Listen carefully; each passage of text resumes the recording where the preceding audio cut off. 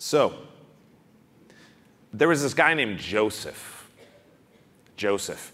And the, the thing about Joseph is that he was filthy rich, like incredibly rich. He's the kind of guy who grew up and, you know, he had a tennis court on the property, right? He's the kind of guy that he got busted by his parents for doing things like driving the golf cart in the house. And he was like, but the rooms are so far apart, mom. Like he was this kid. He was, he was incredibly rich. And somewhere along the way, this guy Joseph, he, uh, he comes to know Jesus and he gets involved in the community of faith. And you have to understand, in the early church, where, how many of you go to a church of people that has, like, let's say, like 250 people, something like that? A few of you. Okay, now imagine that's where you started, right? 200. I grew up in a church like that. You've got 250 people. So I went to this little church in Missouri for a while, like three years when we lived there, and it had, you know, the little gravel parking lot, which I fell in often on my bike, which was that was bad. Uh, and there's like a little baseball diamond, and it, and the pastor lived right there on the property. And every week it's the exact same people uh, sitting in the exact same seats, hearing, you know, really basically the same message uh, and singing the same songs. And this, this is your little thing. And then one week, just imagine, just imagine that it happened that the fire came, right? The wind and the fire, and then suddenly everyone's going into the water. They're getting baptized. And your little church of 250 grows to 3,000 people, literally overnight. What would some of the problems be, do you think? Like, I know right now I'm like, that little gravel parking lot is not going to be sufficient because this is America, which means there will be, there's 3,000 people, there will be like 5,000 cars. Like, I don't know how that's going to work, but people like come and drop off their car and go home and get another one to come park it. And they're like, this is America, don't tell me to take the bus, how dare you, sir, right? Um, so there's no room. People trying to get in to hear the message, yeah, no, it's not going to happen. And then where are all these people coming from? They're from all over the world. Some of them don't even speak English. How do you deal with that? How are you doing translation? How are you telling people? These are people who just literally came to Jesus yesterday, and then they're saying, okay, what's next? How do I follow Jesus? And there's 200 of you. And you're like, uh, the 200 of us will spread out among you and explain it in English? Like, I don't know. How's it, what happens next? So things were going crazy. Things were falling apart. They didn't know what to do. Some of the people had nothing, nothing, no money. Uh, they didn't have a place to live. They're homeless. They're living in one of the cars out in the parking lot, right? They don't, they don't have anything. So what's to be done? Well, this guy, this guy Joseph, this filthy rich guy Joseph, looked around and saw the needs of the people around him. And he went to Peter and the other followers of Jesus. And, and he came in one day during a service, everyone's praying and singing, and he just walks up front with all these briefcases and he starts laying them down, stacking them up. And they're like, What's, what's this? What's this? And they open it up, it's just full of cash. He's liquidated everything. sold all his property and the golf cart and, and all, all of it all of it, and just brought the cash. And they're like, What is this? And he says, I brought this to take care of the people. And they're like, Why didn't you write a check? And he was like, You're not a 501c. You know, I, I, I thought cash would be easier, right? And so, and then it becomes this thing. Like they take the money and they're like, okay, this guy needs a place to live. These people need food. And they start portioning it out. And it becomes this thing where anyone who has money, they look around and they see the needs of other people. They're like, that guy needs something, man. I'm just going to take care of it. And they would pay for it, they would take care of it. And, and it got to this place, it got to this place where nobody needed anything. Everybody was good everybody was fine. They were taken care of. They had a place to live. They had food. They had clothes. They had, they had jobs. They had connections in the community because everyone was looking around at each other and saying, What do you need? What do you need? We're, we're followers of Jesus. How do I take care of you? And it was this incredible thing. And the people at the time, they weren't like, yeah, yeah, that's just, that's just normal. Like, can you imagine that? If, if no one around you had needs after something like this, everyone was like, this is incredible. What's happening? And what they said was, what they realized was, this is an amazing outpouring of God's grace to us. Like that our community is interacting like this way. It doesn't say you have to be that way. It's not because of morality. It's not because this is what the Bible says. It's because that's incredible. And this guy, Joseph, they gave him a nickname. They started calling him the encourager. Oh, here comes the encourager. And it wasn't just because of that. He was the kind of guy that he just walked up to you and he was like, Man, I can tell you're really tired today. You're going to be okay. Like, why don't you go take a nap? I'll take over your job right now, man. Like, he was just this guy that always was thinking about other people, always looking at them and saying, What do you need? What do you need, and how can I provide it to you? So he got this nickname, the encourager. They didn't even call him Joseph anymore. They're like, oh, encourager, here he comes, man. Like, that's pretty cool, actually, to get a nickname like that instead of nicknames like I've had in my life, um, many of which uh, cannot repeat on the stage. So, uh, yeah, there's this guy, Joseph, and they're saying it's the grace of God at work because all of us are suddenly part of this incredibly generous, others focused world. And there were some other people there. Uh, there, were, there were two people with kind of funny names. One of them, this guy, his name was Mercy. Mercy. And there was this woman whose name was Bella, the beauty, right? And they fit in well because they were the kind of people that, yeah, they gave money. They were generous people. They gave to charity. They were well known. Like when there was a charity ball or something, everyone's like, call Mercy and Bella. They're going to want to come. And they're the kind of people that they pay to come, man. Like they empty their pockets. And everyone knew this. They gave money to third world countries, they paid for wells, you know, they gave money to orphanages. They always seem like generous people. And you always know what they've been up to. They're not afraid to tell you, like, yeah, we were at this one dinner and they started talking about war orphans, and we were so moved by it. Like, it's so beautiful that we just wrote this giant check. I mean, it's probably more than we could afford, but we, we definitely, we helped take care of those war orphans. That was amazing. And you're always like, wow, so cool. It's so great that they would do that. That's amazing. Man, so good. And one day at worship time, everyone's praying and singing, just like when Joseph came in. And, uh, and Mercy comes in. And he's, he's happy. And he comes up front. And it's become kind of a thing, almost like a tradition. Like people just have started to bring cash. And he just comes in with a couple of briefcase. And he sets them down and he says, Hey, I sold my property out west. And uh, here's all the cash. And yeah, and everyone's like, yeah, everyone starts cheering. They're dancing around. They're hugging him, clapping him on the back. Everyone's really happy. It's a good time. And Peter, though, Peter doesn't come over and shake his hand. Peter doesn't seem impressed. And Mercy is kind of looking over at him like, what's going on? And Peter says, Mercy, how is it? how is it possible that the enemy has so filled your heart that you would lie to the Holy Spirit? That you would say this is all the money you got for your property when that's not true, is it? You held some of the money back, which is fine. It's your property. And after you sold the property, it was your money. So why'd you have to come in here and say, here's all the money? Why couldn't you just bring what you were willing to give? That's not, you should not lie. You haven't just lied to me or to the leaders or to the community of faith. You've lied to God.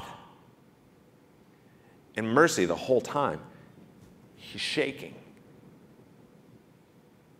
And he just, he collapses and he falls down dead. And some young men come in, and I mean, what do you do? They wrapped him up in a sheet and they picked him up and they carried him out and they, they took him to the funeral home, right? Which definitely changed the way the worship service was going. Yeah? And a few hours later, feeling a little more somber, in comes Bella. She walks in, she's kind of looking around. Where's, huh, don't see Mercy. And she comes in, and, and Peter says, Bella, your husband came and said these two briefcases, uh, that was all the money you got from your property. Is that right? And she says, like, Oh, oh yeah. Yeah, isn't that amazing? Yep. I mean, we gave to the war orphans last week, but this week we're like, let's sell our property out west, and, and, and, and here's this. And Peter says, uh, why did you why did you conspire with your husband to think that you could fool God? And they hear the sound, and it's these young men coming back from the funeral home. It's been like three hours. And they walk in, and everyone's looking, it's kind of a distraction. He says, do you, do you hear that? That's the sound of the men who took your husband's corpse out of here. And Bella just, she collapses, also dead. And they take her away too. In the community of faith, how do you think they felt? they were terrified. They were terrified because ah, I thought, I thought we were in the age of grace. I thought we were in this place where all of a sudden, it wasn't even that big a lie, right? They did sell their stuff, they did bring some. Why is this such a big deal? And we're going we're to look at this in Scripture in just a second, but I just want you to know when you're looking at the book of Acts, this is the story that no one wants to talk about. We don't want to discuss this story because we're talking about a book that's about the amazing acts of the Holy Spirit. In this story, this is the one where two people get taken home for lying. And I don't want to hear that story, and I don't want to try to explain that story. I certainly don't want to be part of that story. yeah, so let's take a look at how Scripture describes it, okay? So it's the book of Acts. And some people, one of the reasons this story will seem confusing sometimes to people is they'll start in chapter 5. And probably if you look at chapter 5, it'll say something like the story of Ananias and Sapphira. Ananias' name means mercy, the mercy of God, which is really interesting. And Sapphira means like sapphire or beautiful one. Uh, but it's, it's confusing if you start in 5.1 because you're like, whoa, God just murdered some people for lying a little bit. And I'm pretty sure I lied a little bit this one time. I feel fine, right? Uh, but look at this. Acts 4, verse 32 is where we're going to start all the believers were one in heart and mind. They just they felt connected. They were doing the same things. James, James and I, we are good friends. And one of the things he said to me, like, he's, he's like, man, I just feel like our hearts are in the same place, right? I totally feel that. Everyone felt that way. Like, man, I feel, I feel connected to the bridge man. That's actually true. Probably you guys do too. I feel connected to Shelby. I, feel connected to everybody. Man, we're connected in heart and mind. We got the same purpose. We're doing the same things. No one claimed any of their possessions was their own. They weren't like hung up on like, hey man, that's my toothbrush. Please feel free to use that. Uh, no, nobody was like, hey, hey, hey, whoa, hands off, this is my stuff, right? But they shared everything they had. And with great power, the apostles, the people who'd been with Jesus throughout his ministry, continued to tell everyone about the resurrection of the Lord Jesus, right? They're teaching the newcomers. They're teaching everybody. Here's what Jesus taught us He rose from the dead. And much grace was upon them all God's favor, God giving them things they didn't deserve. It was happening for everybody. And there weren't any needy people among them. Nobody needed anything because from time to time, those who owned lands or houses, they sold them they brought the money from the sales and they, they put it at the apostles' feet, which means they turned it over to them. They said, Here, please use this.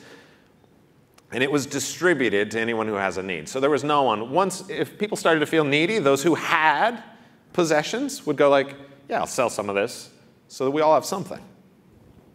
And there was a guy named Joseph, which, by the way, most of you probably didn't know who I was talking about at the beginning because this is one of the only places we hear his given name in all of Acts, Joseph, a Levite from Cyprus, whom the apostles called Barnabas, which means the son of encouragement.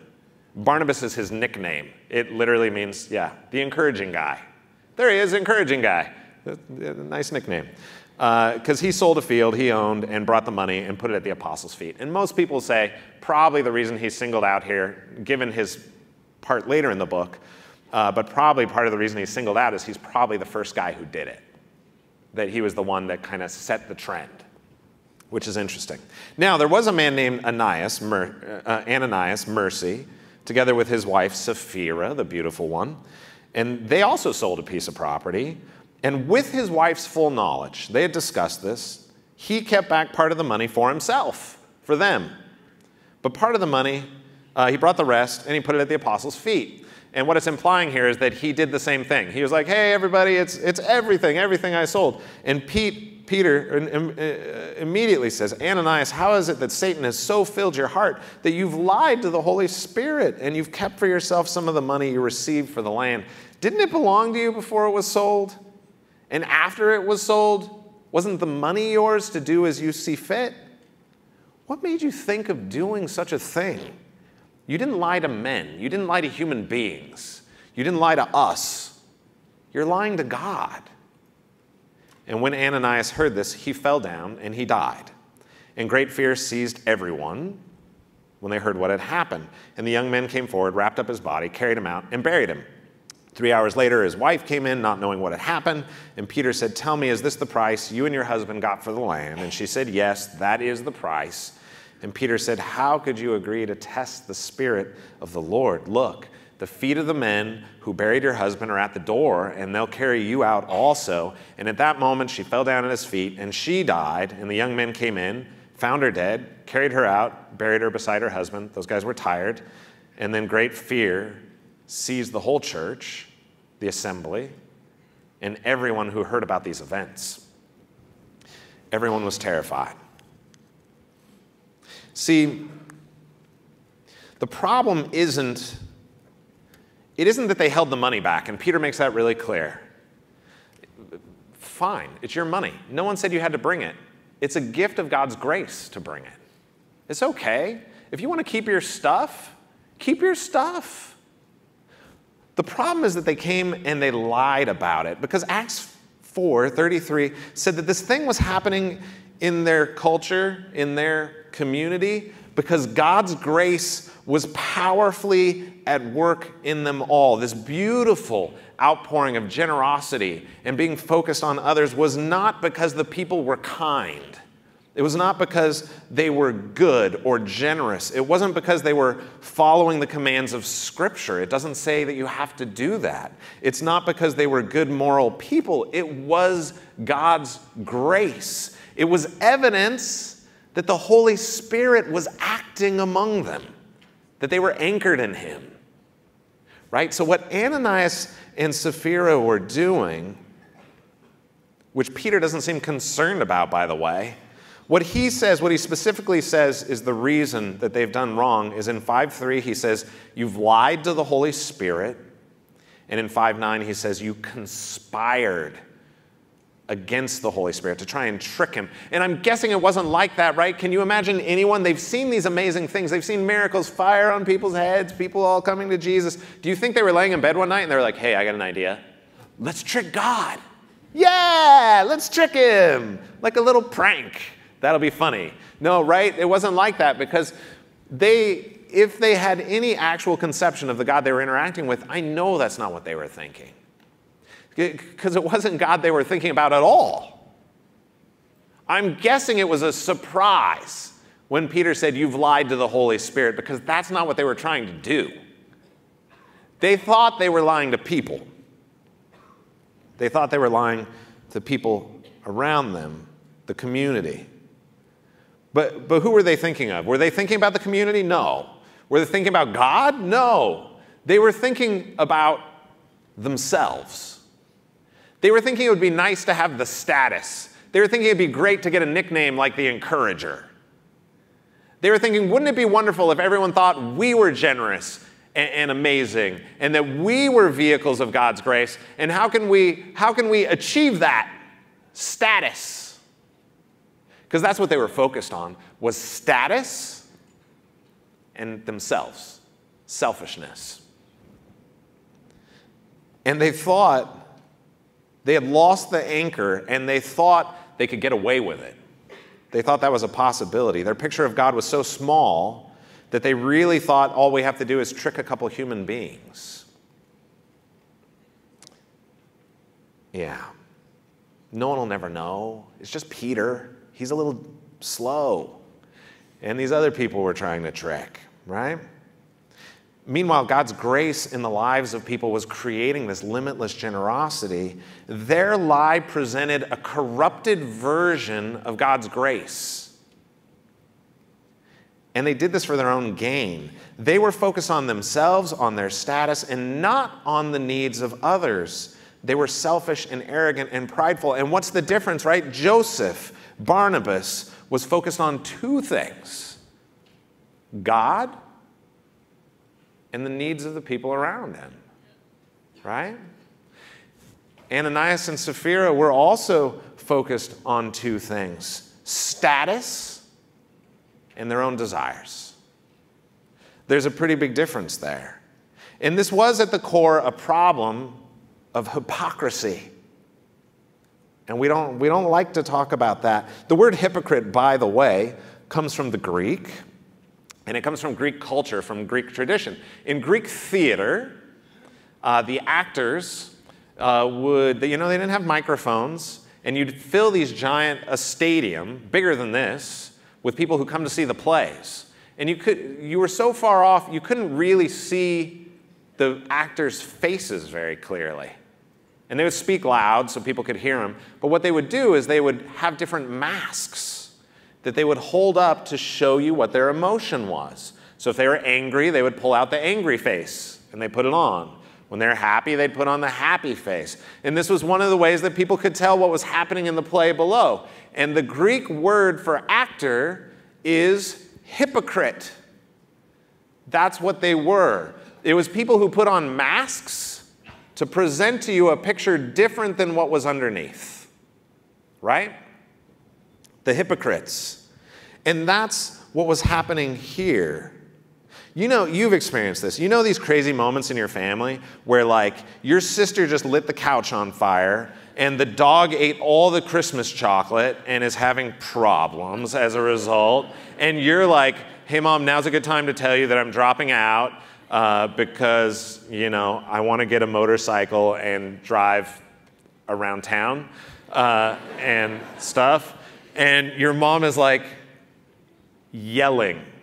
Uh, she, it doesn't even matter what she's saying anymore. She can't remember your name, uh, and she can't remember your sister's name. She's like, You children, I'm going to, and then also the dog which we bought because we loved you once. And she's getting really angry, and the phone rings, right? Ring. And she's like, Hello? Oh, yes, it's wonderful to hear from you. Hmm. And she has this nice little conversation. Right? You've experienced this, yeah? Yeah, uh huh. Yeah, my mom, you know my mom. Um, no, it's because I am your mom, right? I've done this at home. Um, what is happening there? Right? Suddenly, your parent has become a different person so they can interact and, and with this person on the outside, right? They're not sharing what's really happening, the reality of their life. And this is part of what's going on here, we're pretending to be someone we are not. That's what Ananias and Sapphira are doing. That's part of what their sin is. It's not just, oh, I'm telling a lie. It's, I want this status. I want to get this. I want what I want, and I'm going to pretend to be someone I'm not so you'll treat me like that. Okay? And, and this is a part of our culture as Christians. We do this all the time.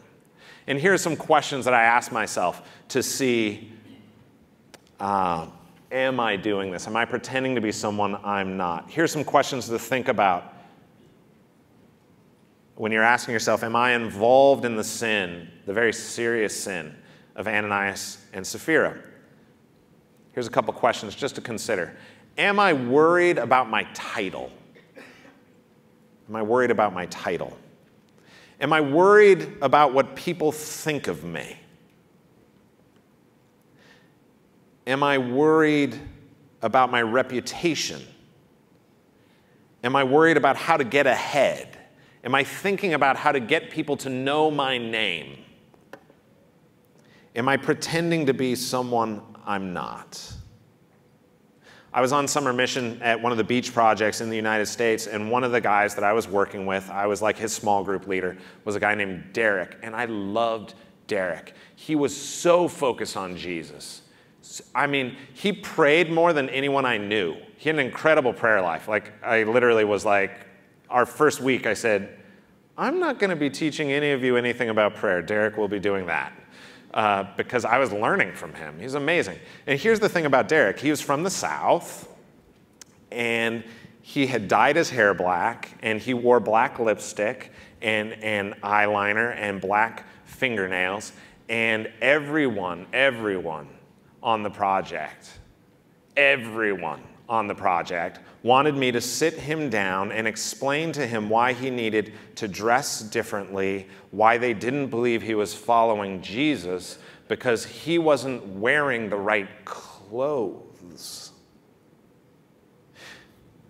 They wanted me to teach him how to be a hypocrite, right? we do this all the time we teach each other how to pretend to be someone we're not so we can look more spiritual. That is the sin of Ananias and Sapphira. That's what they did. And why do we do this? Because we want heroes. That's why. At the end of the day, we want heroes. Once someone's face is on this screen, we want them to be perfect. We want them to be amazing. We want to believe that our Bible study leaders are above average. We'd like them all to be geniuses, right? We want to believe that people who go on stint, who go serve overseas for a year with Cru, they must be. They have to be spiritual giants. They must be incredible people. We want to believe that Tim Keller and John Piper are more insightful, are more connected to Jesus, have more to say about the Bible than, than we do than the people in our churches. We want to believe that uh, someone like Dr. Martin Luther King Jr. was a genius and a saint, that Desmond Tutu is a modern day saint, that, that Mother Teresa was this exceptional person. But I have bad news for you. I mean, it's wonderful news, it's beautiful news, but it's bad news, and that is this God uses ordinary people. Tim Keller, ordinary man. John Piper, ordinary. Mother Teresa, ordinary. Dr. Martin Luther King Jr., ordinary. Ordinary people. We like to have spiritual heroes because it gives us an excuse to say, I could never do what they do. Well, that's not true. What you're saying is, God could never do those things through me. Mm-hmm. No, now you're, now you're saying that God is not big enough. Do you understand that that's what we're saying? When we're saying those people are heroes, we're saying God is not big enough for ordinary people to do that because they are ordinary. I guarantee you, they have issues, they have problems. And we say to ourselves, I'm not good enough, I'm not special, I don't have what it takes, I can't lead a Bible study, I can't go on summer mission, I can't go on stint, I'm ordinary, I'm not like those heroes. Those are heroes of the faith. And I get this sometimes. People say this to me because I stand on this stage and share things I've been thinking about for a long time. Uh, uh, you guys, I took the Bible app off my phone. Do you know why I took the Bible app off my phone? Because I don't do a daily devotional, and I got sick of it telling me all the time, you should spend more time in the Bible. And I couldn't get it to turn off. And I got sick of it, so I deleted it. Spiritual giant, you guys no more Bible app for me. Um, I, I don't read the Bible every day. When we first had a baby and she cried in the middle of the night, I pretended to be asleep so my wife would get her. I don't always like going to church, and I'm an elder at my church. At elder meetings, we pray too long, and I more than once have wondered is it wrong to surf the internet on my phone while others are praying? And I have not come to a conclusion on that yet. I, I love Cru, and I wasn't lying when I told Shelby that earlier, but I have to tell you, there are days where I'm like, I wish I was a Walmart greeter. Those guys have it good. Um, I'm worried when I'm going to disappoint someone. I'm seriously tempted to lie to them instead of telling them the truth. That's part of my life. I like comic books better than theology books. That's just reality because comic books are cool. I find, it, uh, I find it hard to extend grace to people who are legalistic because I wrestle with legalism and I find it hard to extend grace to myself. And those, those are just the things I feel comfortable sharing with, in public. Don't buy the lie. Don't buy the lie that you have to be extraordinary to do things for God. God empowers ordinary people to do extraordinary things through the power of His Holy Spirit. Barnabas gave everything to the community of faith because, not because he was amazing, but because of the grace of God in his life, not because he was better than other people. If we're connected to the Holy Spirit, He moves us toward these incredible things. The Holy Spirit, over and over through the book of Acts, moves the followers of Jesus to be more loving, more aware, more interested in people around them, their spiritual needs, their physical needs. He opens our eyes to the needs of people around us, and He helps us ask the questions what is the good news for that person? What do they need? How is God? How is Jesus? How am I going to meet that need? That's the good news. Now, we're people of mixed motivations, okay? Sometimes you want to do something amazing for God, and there's this piece of you that's like, and also people will notice. And that happens. It's okay. Yeah. And tonight, Matt, my friend Matt, is going to share with us about the beauty, the incredible beauty of Jesus. And he shared with me a little bit what he's going to share, and it's really amazing. I'm really looking forward to it. And that's something that we need to focus on because listen, we can lie about who we are. We can focus on status and celebrity and ourselves, but God takes that seriously, deadly seriously. Or we can focus on Christ, our anchor. We can think of the needs of those around us, and we'll do extraordinary things through the power of the Holy Spirit. You know, there are opportunities all over the world, people in need. We're going to be talking about that today after this meeting. People around the world who need something from us. And are we going to be part of that grace filled community that fills those needs? I hope so. I hope so. When we pretend to be someone extraordinary, it leads to destruction. But when we focus on God, when we focus on other people, we become ordinary people empowered by God to do what is extraordinary. We can be part of God's outpouring of grace around the world by seeing the needs of people and filling them through the power of Jesus. Um, that could be in the inner city. That could be at a beach project. That could be at your church at home. That could be in your community, on your campus. It could be places like Australia. Man, everywhere I go in the world, I meet Australians. I don't know what it is, but those guys love to travel. I'm not kidding. I've been, I don't know, 30 different places in the world, and every time there's like an Aussie with me. I'm like, where'd you come from? And they're like, hey, good day. Uh, uh, the Australian people, you guys, summer mission, if you want to go to Australia, these people, if anyone's going to take the gospel to the entire world, if there's going to be a world revival, I totally believe it's coming from Australia. And if you're like worried about not being able to speak other languages, they speak a language incredibly similar to ours in Australia. Uh, and I can teach you some of the language, like you need to know, for instance, that instead of saying Burger King, they say Hungry Jacks but that's, that's like it. Like, and instead of Whopper, you say, I want a Hungry Jack, and that's not even hard. So Australia is amazing. Botswana is a country with so many needs.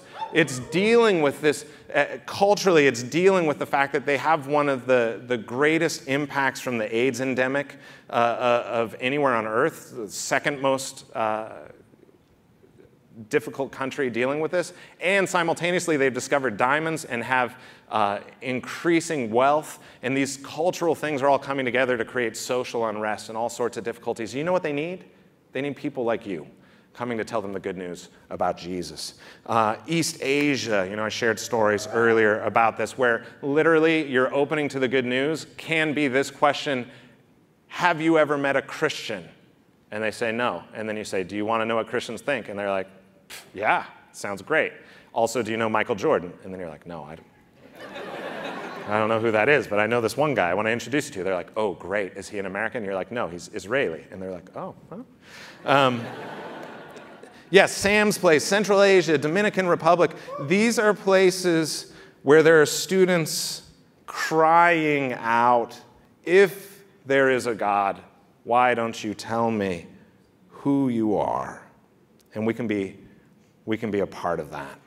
Dr. Martin Luther King Jr., that enormously ordinary human being who, through the power of the Holy Spirit, did some enormous, incredible, culture shattering, transformative things. Ordinary man said this If you want to be important, wonderful. If you want to be recognized, wonderful. If you want to be great, wonderful. But recognize that he who is greatest among you shall be your servant. That's a new definition of greatness.